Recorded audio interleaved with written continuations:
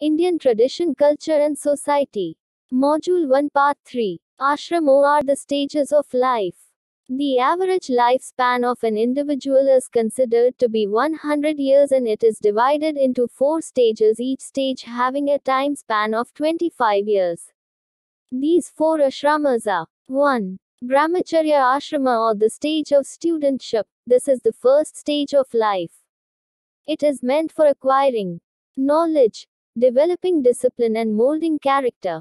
This stage starts with the ceremony called Upanayanama or investiture with the sacred thread.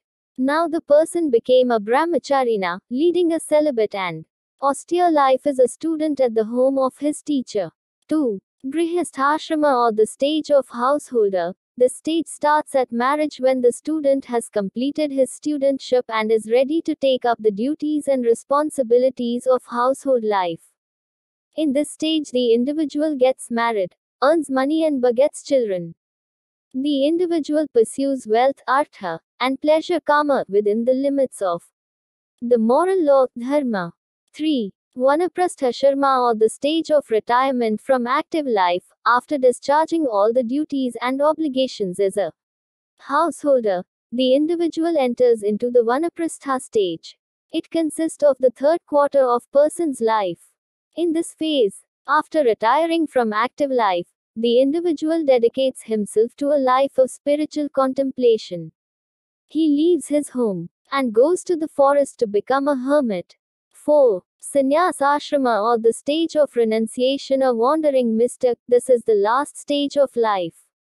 Now the individual leaves his hermitage and becomes a homeless wanderer, sannyasin, with all his earthly ties broken. The sannyasin aspires and acts to attain liberation only. Marriages in ancient India. Marriage or vivaha was a very important sanskara in ancient India. Marriage in ancient India had three main purposes. 1. Promotion of religion by performance of household sacrifices. 2. Progeny, happy afterlife of father and his ancestors and continuation of family line or kula. 3. Rati of physical pleasures. 8 forms of marriage. 1. Brahma Vivaha. This is considered to be the purest form of marriage. In this form of marriage, the father of the bride offers his daughter to a man of character and learning. 2. Deva Vivaha. In the Deva form of marriage, the father offers her daughter as a dakshina, sacrificial fee, to a young priest who officiates the yajna which is arranged by him. 3. Arsa Vivaha. In Arsa Vivaha, father of the bride gives his daughter to the bridegroom after receiving a cow and a bull or two pairs of these animals from the bridegroom. 4. Prajapatya Vivaha. In this type of marriage, the father offers the girl to the bridegroom. But neither does he offer any dowry nor does he demand bride price. 5. Asura Vivaha. This is a form of marriage by purchase in which the bridegroom has to give money to the father or kinsman of the bride. 6. Gandharva Vivaha. This was a marriage by consent of the boy and the girl. Mutual love and consent of the bride and bridegroom was the only condition required to bring about the union. 7. Rakshasa Vivaha. This was marriage by capture in which the girl was forcibly abducted from her home. Crying and weeping and her kinsmen have been stained and their houses broken. 8. Paishacha Vivaha. Paishacha form of marriage is one in which the man seduces by force a girl who is sleeping or intoxicated or mentally disordered. Understanding gender as a social category. Representation of women in historical tradition. Understanding gender as a social category. 1. The early Vedic or the Rig Vedic period 1500 BC 1000 BC. Women were dignified with a respectable status in early Vedic civilization. Women were honored as well as empowered in the affairs of the home and family. They were also honored by their participation in all the socio-cultural activities of early Indian civilization. Women's freedom to participate in war, gymnastics, archery, horse riding, public activities, education, decision making, and in the selection of male partners has portrayed the nature of women's status in the social canvas of the Rig Vedic period. The value of women and the respect shown towards them was not only limited to the idea of mistress of the household.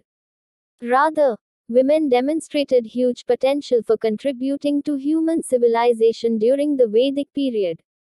The Rig Veda Sanhita text revealed that the goddess Durga, Aditi, the goddess of freedom, and Saraswati, the best mother, best of rivers, best of goddesses, were worshipped with complete dedication.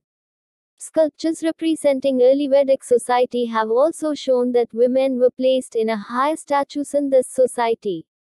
2. The epoch or later Vedic period, 1000 BC 600 BC. Womanhood was idealized as an honorable position both in and outside the home during the epic period of Indian civilization. The two great epics of India, the Ramayana by Valmiki and the Mahabharata by Krishna Dvaipayana, Vyasa depicted women as the root of dharma, pleasure, and prosperity. The Ramayana emphasized the line, Sita's noble life. Moreover, Sita, Draupadi, Kaikeyi, Rukmani, Savitri, and Satyabhama symbolize the great value, strong willpower, and the courageous role and position of women in epic society. 3. The Jainism and Buddhism period, 600 BC 200 BC.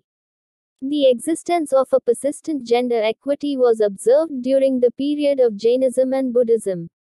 In the Tipitaka, the Vimana Vatthu Pali section of the Khuddaka Nikaya portrays women's freedom in education and religious and cultural activities in society.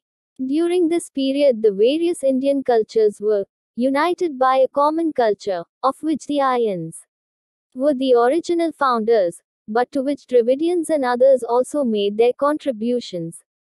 4. The age of Dharma Sastras, Manusmriti, 200 BC 647 AD. Women's right to education was fully withdrawn with Manu's codification of the laws governing society. During the age of Dharmasastras, the rules of right conduct Manusmriti, a number of problems started to creep in with the introduction of various restrictions on women's ability to obtain an education. Problems faced by women in ancient India. 1. Sati. Let these women, whose husbands are worthy and are living, enter the house with ghee applied, as collyrium to their eyes. Let these wives first step into the pyre, tearless without any affliction and well adorned.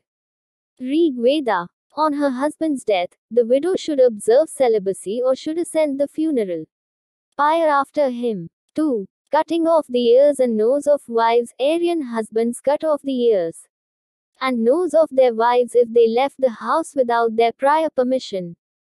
3.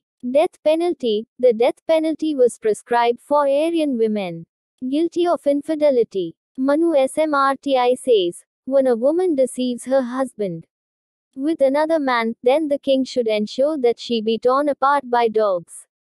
In a public place, and the evil man should be burnt in a bed of red hot iron. Infidelity to husband was considered a grave sin, and it was believed that such women went to hell. The husband had the power to curse the wife who was disloyal to him. 4. No property rights. Women and Sudras in ancient India have no property rights. 5. Dressing Aryan women had to wear a face veil when going out. They were not supposed to entertain strangers. 6. No education for women. Women and Sudras were declared to be unfit for study of the Vedas. 7. Less representation in administration. Slavery in ancient India. The term that is most often used to refer to a slave in ancient Indian texts is dasa. This term may have been derived from the word das, which means to finish or terminate something. It was associated with slaves because their work was to finish various jobs. During the Rig Vedic period, the word dasa did not have the same connotation. Here, it meant people belonging to another group, possibly distinguished from the Aryas on the basis of their phenotypic features. However, the term was used to denote a slave by the later Vedic age. Dasas were not kin of their masters but often, women slave captured during wars were expected to deliver children. who would make up for the lives lost during the war. Another group of slaves was also present, which could have included those who had migrated to the region of Indus Valley along with their masters. Slaves were considered to be some form of objects, and there were instances where they were listed as gift items. Their work was primarily associated with domestic chores, but they could also be used as helpers for agriculture. Those who worked on fields were known as Dasa Karmikaras.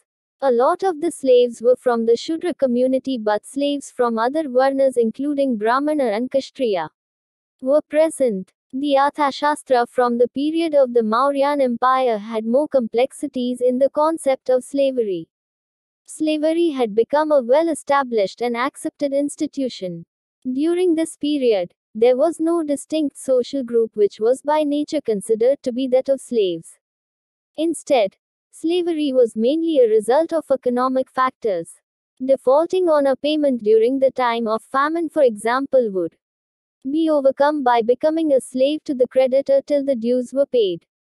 A story from the Jatakas where a master ties up a boy slave and a girl slave and then beats them to the extent which causes their skin to cut and bleed. According to scholars, reflects the prevailing early historic period attitude towards slavery. This is end of module 1.